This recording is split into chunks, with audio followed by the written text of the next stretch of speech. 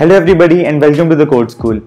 If you struggle to find the time complexity of your program or if you're a beginner who is wondering why are we not calculating time in minutes or seconds and why are we using these weird notations like big O, n, n square, log n to calculate time, then you have come to exactly the right place. In this video, we are going to discuss what is time complexity and how do we calculate the time complexity of a program using various examples. So let's not waste any time and get started. So first of all, in computer science, whenever we talk about time complexity, it generally means the number of steps that we need to take in our program to reach the final solution. And we define this number of steps with respect to the size of the input that we get. When I was a beginner, I always had that doubt that why are we not calculating this time in seconds, milliseconds or even microseconds? Uh, well, the reason for this is this time may depend on, on, on a lot of other factors as well uh, like the computer you are using how many memory our program has available how many other programs are running at the same time which are competing with our program for resources how many threads are being used etc etc so to standardize this calculation we use the size of the input as the parameter to define our time complexity. So let's look at how to find the time complexity using some examples. Friends, suppose we are given an array and we need to calculate the sum of the first element and the last element of the array. Uh, let's look at this example where the number of elements in array is 5. To solve this, we need to first select the first element and then we need to select the last element of the array. Now it's time to take the first step where we add both these elements to get the final result. Now we see that the number of total steps we had to reach the final solution is just 1. Now let's look at another example where the total number of elements in the array is 10. So similarly in this case we select the first element and then we select the last element and then as the first step we add both these elements and we get the final result. Uh, so we see the total number of steps is still 1. So similarly if we increase the array size to 100 or maybe 1000 even then the total number of steps will still be 1. So we can say that the time complexity of this solution is constant or in mathematical terms we can say that the time complexity is big of 1 or simply O of 1. Now let's look at another problem where we're given an array and a number and we need to find if this number exists in this array or not. It's a fairly simple problem to solve. So uh, what we need to do is we start from the first element of the array and check if this element is equal to the given number or not.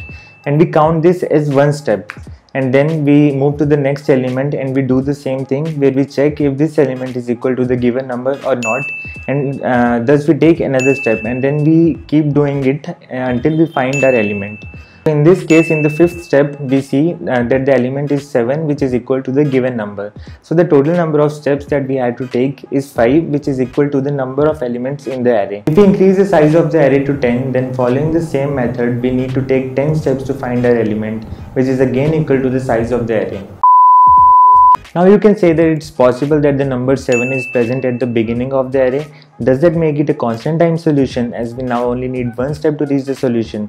Uh, well the answer to this is no because whenever somebody asks you about time complexity of a solution, it is understood that he is talking about the time complexity in worst case possible which is also called as the worst case time complexity. So in this example the worst case is that we need to iterate the whole array to find the element and we need to take n number of steps to reach the solution. So it doesn't matter if we find the number at the beginning of the array or in the middle of the array or at the end of the array, the worst case time complexity will be of n. Another thing to notice here is that the number of steps that we take that might be equal to 3 times n or 4 times n plus 3 or 8 times n. In all of these cases, we will say that the time complexity of our solution is of n uh, because the number of steps that we are taking in all these cases are linearly proportional to n. Suppose we are given a number 3 and we need to create a 2D array of size 3 by 3 and insert consecutive numbers starting from 1 to this array so that the final array looks like this. So what we need to do is we need to create two loops, one to iterate over the rows and another one to iterate over the columns and fill these positions of the array one by one. And filling one position at a time is counted as one step. So the total number of steps that we need to take for this is 3 into 3 which is 9. Similarly, if the given number is 5, then we need to create an array of size 5 by 5 and fill 25 positions and the total number of steps that we had to take would be 25. Similarly, for 6, we had to take 36 steps. So we can observe that the total number of steps that we have to take is equal to n square for every case. So the time complexity is of n square. As a general rule of thumb, we need to check how many nested loops we are running in our code and then multiply the length of these loops to get our time complexity. So in this case, we were running two nested loops, both of length n, and so we multiply these lengths n into n and we get our time complexity which is n square.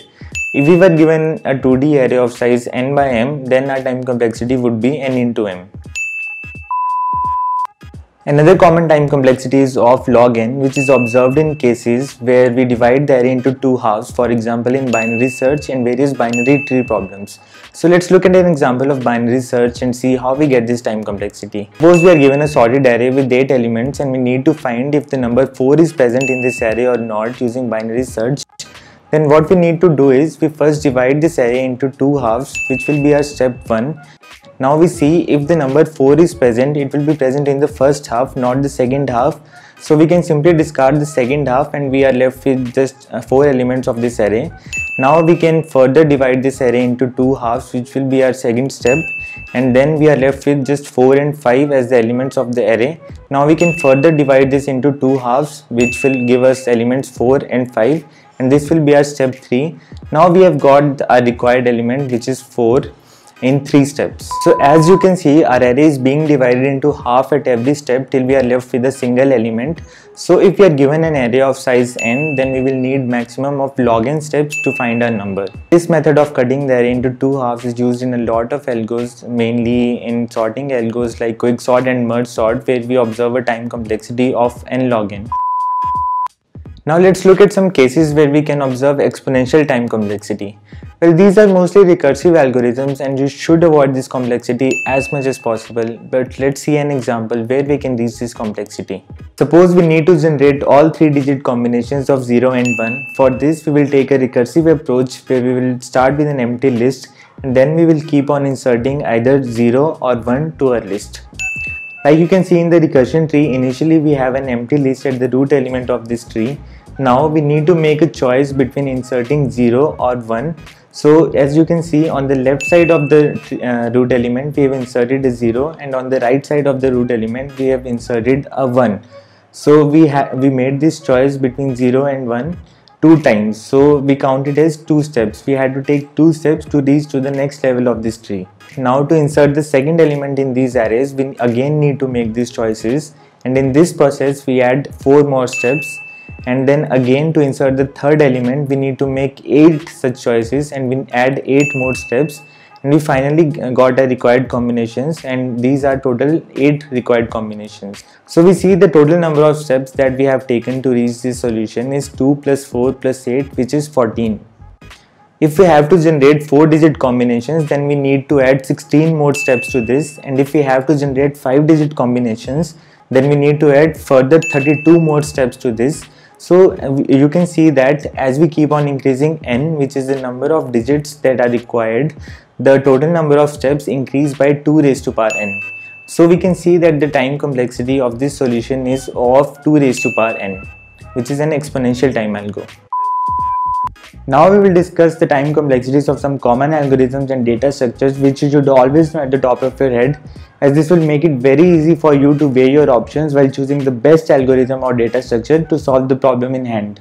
For binary search as we have already discussed the time complexities of log n. Push and pop operations in both stack and queue are constant time operations. All commonly used sorting algos like quicksort, merge sort, heap sort are all of n log n time complexity.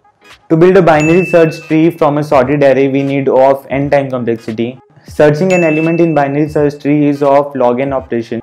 Building a heap takes of n time complexity. Inserting an element at the end of a linked list takes of n time complexity. Searching an element in a linked list also takes of n time complexity. Inserting an element in a hash map and searching an element in a hash map are both constant time operations. Friends, I cannot stress enough how important it is to remember all these time complexities. So that was it regarding time complexities. If you like this video, please hit the like button below and for more such videos, hit the subscribe button. And if you have any query or any doubt, feel free to ask it in the comment section. Until next time, goodbye and keep practicing.